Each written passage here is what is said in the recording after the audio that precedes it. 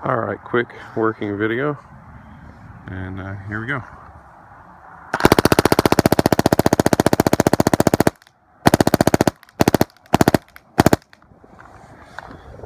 And uh, thank you for looking.